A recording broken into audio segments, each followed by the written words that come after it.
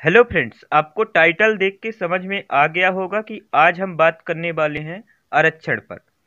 तो आज हम बात करेंगे आरक्षण क्या है, क्या 50 परसेंट से ज़्यादा आरक्षण दिया जाना चाहिए, बाकी जो 50 परसेंट आरक्षण है वो किसके लिए है, और अभी अभी सुप्रीम कोर्ट ने हाल ही में क्या निर्देश दिए हैं आरक्षण के ऊपर।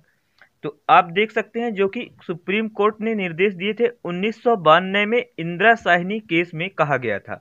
तो कौन से केस में कहा गया था? उन्नीस के इंदिरा साहिनी केस में। तो सुप्रीम कोर्ट ने कहा था कि सिर्फ़ 50 परसेंट आरक्षण होना चाहिए। तो जो आरक्षण है वो 50 परसेंट होना चाहिए। तो देखते हैं जो कि मराठा, जो कि महाराष्ट्र में मराठा समुदाय आंसन कर रहे थे कि उन्हें आरक्षण चाहिए, जिससे कि महाराष्ट्र सरकार द्वारा एक आयोग बनाया गया था। जिस आयोग का क्या नाम था? तो गायकवाड़ आयोग नाम था, उस आयोग का। और गायक बाढ़ आयोग की सिफारिश पर मतलब गायक बाढ़ आयोग जो थी, उन्होंने सर्वे किया और उन्होंने देखा कि मराठा, महाराष्ट्र में मराठा समुदाय को आरक्षण दिया जाना चाहिए, जिससे कि महाराष्ट्र में 12 परसेंट आरक्षण किसको दिया गया? मराठा समुदाय को। और टोटल महाराष्ट्र में जो 50 परसेंट था 50 परसेंट मतलब 50 परसेंट और प्लस 12 परसेंट तो टोटल लगभग बासठ परसेंट के लगभग आरक्षण हो गया कहा महाराष्ट्र में।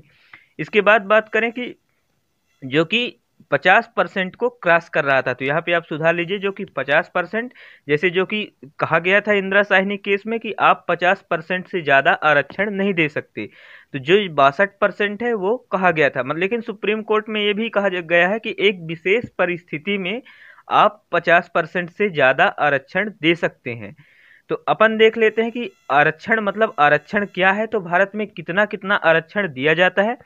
तो भारत में आरक्षण दिया जाता है। अनुसूचित जाति अगर एस, एससी की बात करें तो एससी के लिए पंद्रह परसेंट रिजर्वेशन है।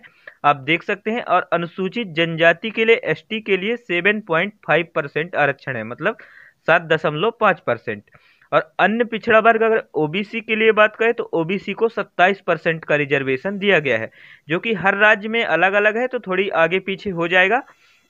जो कि कुछ राज्य में विशेष परिस्थिति में ज़्यादा भी आरक्षण दिया गया है, जो कि टोटल आरक्षण होता है उनचास दशमलव पाँच परसेंट। तो अब देख सकते हैं और लगभग पचास परसेंट।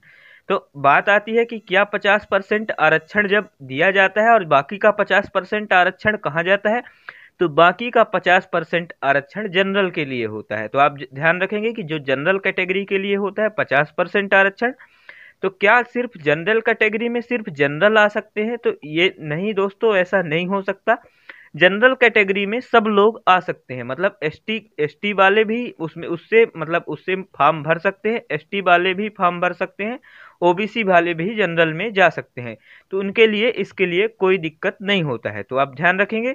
इसके बाद बात करते हैं कि आगे क्या था। जिससे महाराष्ट्र में 12 परसेंट आरक्षण मराठा को दिया गया। मतलब ये जो था गायकवाड़ कमेटी ने रिसर्च किया और उन्होंने बताया कि ठीक है, बारह परसेंट आरक्षण मराठा को देना चाहिए, जिससे कि दे दिया गया और बासठ परसेंट आरक्षण हो गया जो कि पचास परसेंट को क्रॉस कर रहा था। जिससे कि मुंबई हाई कोर्ट में याचिका दायर किया गया, जिनको मतलब जो कि पचास परसेंट आरक्षण के अंदर आ रहे थे, उन्होंने याचिका दायर किया कि कि जो कि महाराष्ट्र में आरक्षण है, वो बासठ परसेंट क्रॉस कर रहा है। तो इसके बाद मुंबई हाई कोर्ट ने उसका मतलब पूरा पूरी तरीके से गायकवाड़ कमीशन की रिपोर्ट का पूरी तरीके से उन्होंने याचिका को देखा और जा, जाँच करके और उन्होंने सही दर्ज मतलब सुप्रीम कोर्ट सुप्रीम कोर्ट ने सही कहा कि ठीक है कोई बात नहीं है यहाँ पे मराठा मराठा को आरक्षण दिया जाना सही है। इसके बाद उन्होंने अपना जो मुकदमा था वो कहाँ पे दायर किया तो उन्होंने अपना मुकदमा सुप्रीम कोर्ट में दर्ज किया और तो सुप्रीम कोर्ट का अभी अभी रिज़ल्ट आया है जो कि महाराष्ट्र में मराठा समुदाय के ऊपर। तो आप देख सकते हैं कि जो कि सुप्रीम कोर्ट ने उसको मतलब रद्द कर दिया। सुप्रीम कोर्ट का, का कहना है कि जो इंदिरा साहनी केस में 50 परसेंट का आरक्षण दिया गया है तो आप किसी भी कंडीशन में आप 50 परसेंट को क्रॉस नहीं कर सकते। मतलब आप कुछ भी कर लीजिए आप सिर्फ़ 50 परसेंट रिजर्वेशन ही दे सकते हैं। तो आप ये देख सकते हैं कि सुप्रीम कोर्ट ने इसको अभी अभी मतलब खारिज कर दिया है।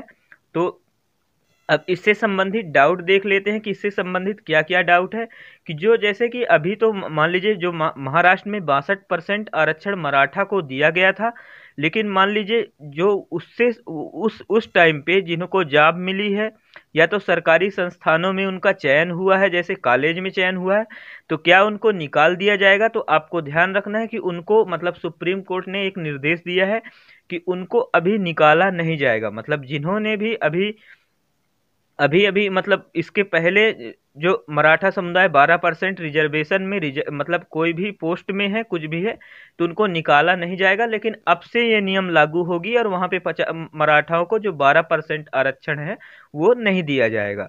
तो आपको ध्यान रखना है कि जो 12 परसेंट आरक्षण है वो नहीं दिया जाएगा और पुराने लोगों को निकाला भी नहीं जाएगा। तो देख सकते हैं आज के लिए इतना ही दोस्तों तो आप अपना ख्याल रखिए स्वस्थ रहिए। और जो कि हमारे, मेरा सेकेंड पहला सेकेंड वाला वीडियो था, इससे पहले वाला वीडियो जो कि कोविड नाइन्टीन से वैक्सीन से संबंधित डाउट का था, उसमें उस, उसमें देख सकते हैं, जो कि महेंद्र सोलंकी जी का बहुत पॉजिटिव कमेंट आया है तो आप देख सकते हैं, धन्यवाद महेंद्र सोलंकी जी।